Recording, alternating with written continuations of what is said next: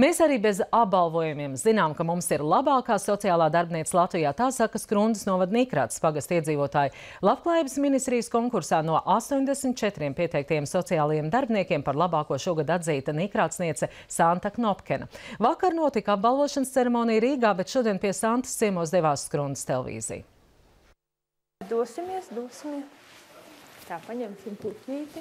Piektdienas Nīkrātas pagasta sociālajai darbiniecei Santai Knopkinai ir apsekošanas dienas, kad viņi dodas pie cilvēkiem uz mājām. Vidēji varot apciemot kādus piecus cilvēkus, jo apmeklējuma ilgums nesot prognozējums. Tas laiks tomēr cilvēkam ir svarīgi, kad, kad, kad tu aizēji, kad viņš jūt, ka tas ir veltīts viņam, ka tu nav tā, nevar tā ieskriet un izskriet. Šoreiz pirmais apciemojums plānots pie Melits kundzes, apsveikt viņu 76 gadu jubilejā un parunāties kā klājas, jo viņai ir apgrūtināta pārvietošanās, turklāt smagi slims ir arī viņas vīrs. Melitiņ, labdien!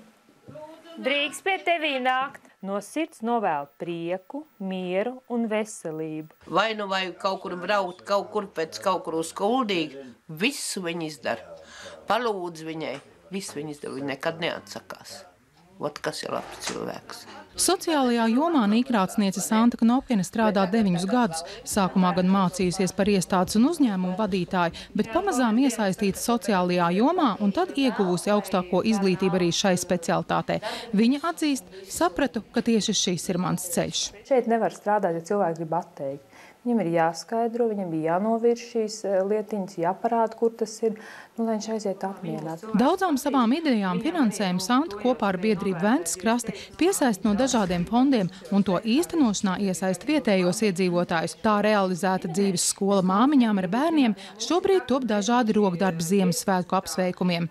Savukārt Santas kabinetā iekārtots bērnu rotaļu stūrītis. Cilvēks ir vērtība. Un sākās jau viss ar ģimenīti, tad sākās ar sabiedrību, tad sākās ar valdību, ar valsts. Mēs jau esam tie, kas veido tur, kur mēs dzīvojam, kādi mēs būsim. Un galvenais ir arī nešķirot šos cilvēkus. Kur pašai smelties spēku pēc grūtas darba dienas? Santa saka, esmu kristīgs cilvēks un tas palīdz. Tāpat viņa priecājas, ka dzīvo ārpus centra laukos, kur līdzsvaru var gūt arī dabā. Tāpat palīdz arī ģimene.